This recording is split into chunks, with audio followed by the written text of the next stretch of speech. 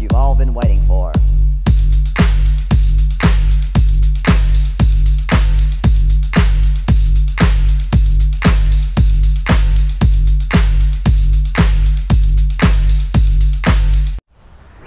And now, the moment you've all been waiting Hey everybody, Dr. Cranky here in the laboratory uh, working um, our um, hearts out.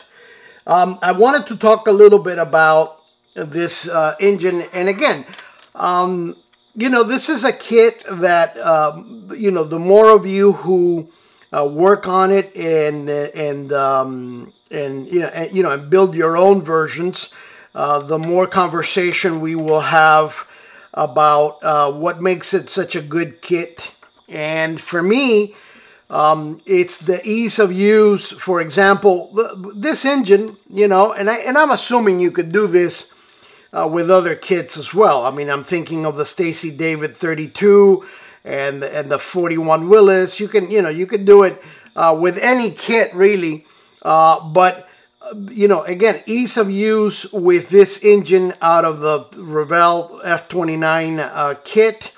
Uh, you put it together, then on top, you can really go and have a lot of fun, uh, you know, creating your own version.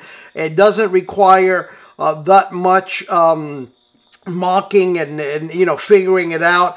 Uh, you could put your, um, you know, since I still don't know my car parts, I'll call them uh, defibrillators, you know.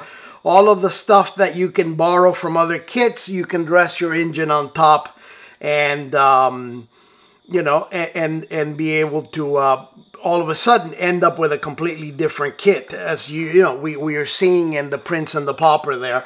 Um, so, uh, you know, have fun uh, building this kit, but also uh, if you don't end up using this engine, obviously keep it around because it's going to fit in in other builds um, very easily. So uh, you know we've been given lots of cool parts to uh, to really feed our hunger with in this kit, and I just wanted to um, you know go on record as saying that this engine in particular uh, makes for a wonderful, wonderful canvas, whether you're going shiny or rusty or what, or what have you, you know, uh, you are going to uh, create a model that uh, you're going to be proud of. So, um, you know, pay close attention to, to how you want to dress this sucker up and uh, make it your own.